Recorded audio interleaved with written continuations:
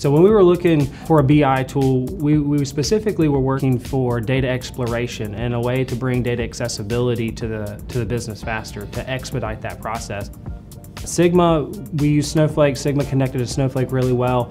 We were able to replicate some pretty complex Excel uh, worksheets inside of Sigma relatively easy, uh, and, and that was a big enough use case for us to really know that we could put Sigma in the hands of the business and expedite that data accessibility process. So right now we extract all of the information out of our source systems and bring it into Snowflake. There we're doing some data cleaning, our typical ETL, and materializing that into tables. And when we do that, we ensure that the business has access, uh, the proper grants in Snowflake to, uh, so that they can see that within Sigma. Then we're turning that data over to the business so that they can explore it and, and really learn our data more.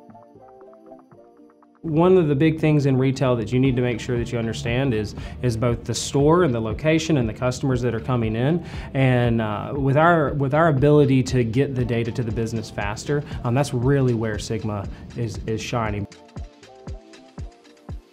making data accessible. Expediting the process from uh, the consolidation of information from multiple systems uh, into a usable fashion for the business users to bring value.